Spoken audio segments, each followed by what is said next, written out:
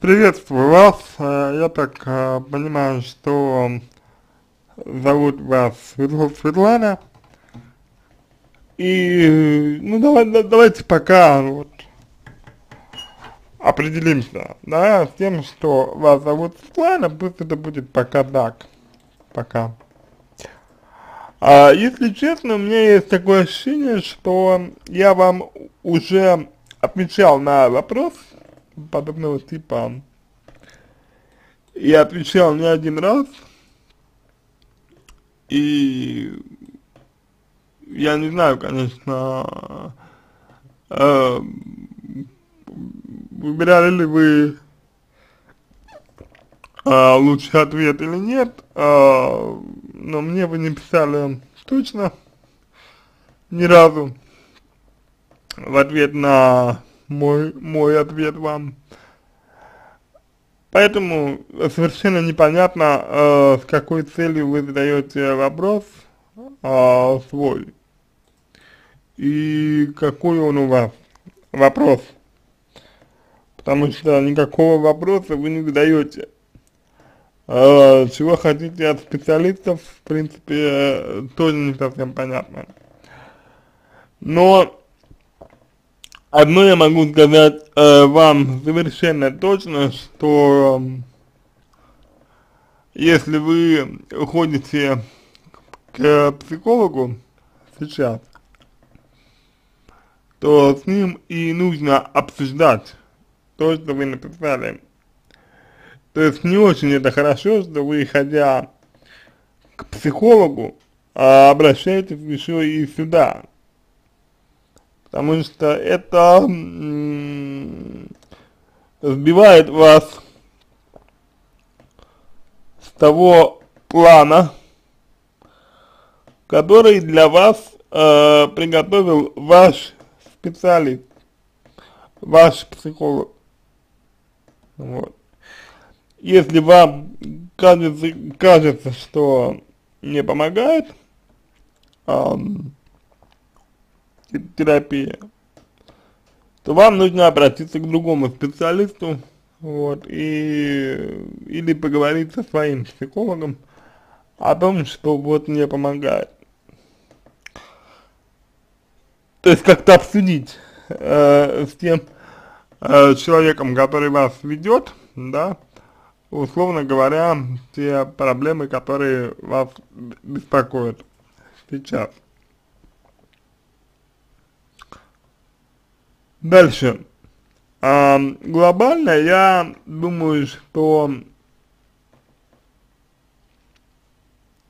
вы склонны подавлять свои эмоции и склонны обесценивать их э, и склонны прикладывать ответственность за свои ощущения на других людей. Ну, по поводу того, э, что вы склонны проявлять свои эмоции, я думаю, что здесь ситуация в комментариях не нуждается. Потому что весь ваш текст, это по сути про депрессивное состояние, это про постоянное зажимание себя, зажимание своих желаний, зажимание своих чувств, какой-то несвободы, э, позиции жертвы. Здесь э, я предлагаю вам посмотреть треугольник Карпмана и так далее. То есть вам здесь рекомендуется работать с чувствами и научи, э, научиться их выражать. Что касается перекладывания ответственности, то здесь довольно интересная ситуация, я вам сейчас постараюсь а, ее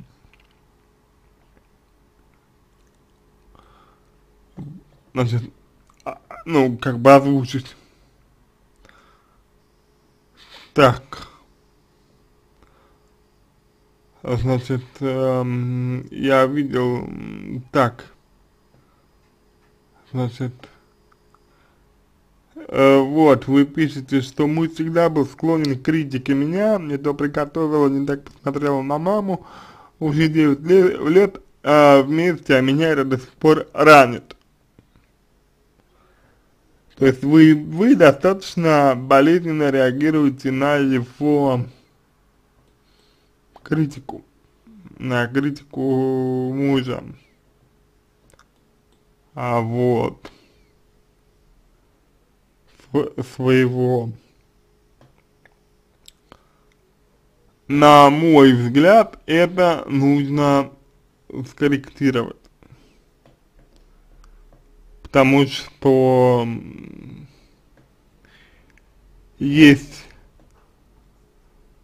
некая такая безответственность в том, что вы а, вот как бы ждете от своего мужа, а, что он, например, либо перестанет вас критиковать, а, либо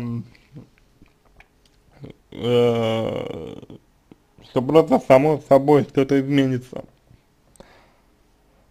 На самом деле это не так, на самом деле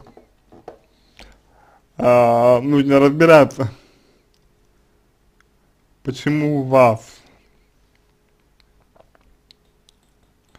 ранит его критика, почему вы так достаточно, ну, достаточно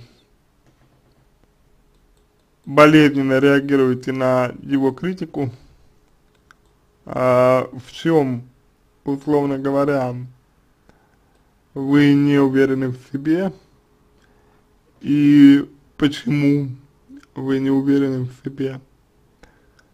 А, выработать отношение к самой себе а, достаточно адекватное, достаточно устойчивое, чтобы а, вас с одной стороны не задевала реакция вашего мужа на вас, чтобы с одной стороны вас это не задевало, а с другой стороны, э, чтобы иметь э, более, ну, более такую более полное эм, представление о себе. И мне кажется, что к этому вам а, нужно подходить. Мне кажется, что в эту сторону вам нужно а, смотреть вам, ну, по направлению к этому вам нужно двиг двигаться. Вот. Дальше. Значит, ну понятно, что есть причины, по которым вы э, с первым мужем расстались, есть причины, по которым у вас там ничего не сложилось. Вот, но это касается того, что а, вас э, ничего не интересует, вот, то вас, конечно, эм, идет подавление э, своих чувств, да, у вас идет подавление своих э, желаний, вот, и с этим также можно и нужно работать. Вот. То есть, также можно и нужно работать над тем, чтобы, собственно, э, реализовывать э, ваши желания, ваши потребности, вот, чтобы вы учились э, слышать их, чтобы вы учились распознавать их, вот. А, сейчас вы этого не умеете, конечно же. И в этом контексте, наверное, уместно вам было бы а, порекомендовать книгу Фредерика Перлза а, «Практикум по а, гештальт э, терапии, вот, и, а, значит, соответственно, эта книга а, поможет вам, ну, может вам помочь, а, начать а, хотя бы а, разбираться а, со своими чувствами. Вот. То есть начать хотя, хотя бы а, слышать себя. Вот. Слышать свои эмоции. То есть вы себе, э, на мой взгляд, э, ставите, ну, такую достаточно э, трудоемкую задачу, вот, э, ре, решить э, сразу свою проблему. Хотя э, сразу ваша э, проблема не решается, вот, э, сразу никак не решить то, в чем вы находитесь, собственно говоря, годами, вот. Поэтому э, поставьте себе цель для начала разобраться в том, что вы хотите и что вам нужно, в принципе. А там дальше уже будет э, более-менее понятно, куда двигаться дальше. Обязательно вот обсудите э, со своим психологом э, то, что вас беспокоит, то, что вы чувствуете. Обязательно обсудите это и э, дальше уже решите, что делать.